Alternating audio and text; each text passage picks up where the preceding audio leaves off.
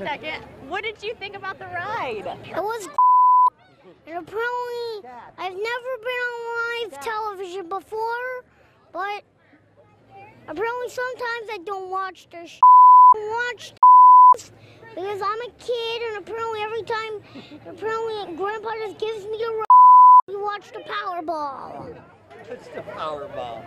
Tell me about the ride. What did you think about the ride? Wow, it was and I've never ever on live television. I never ever on live Are you excited?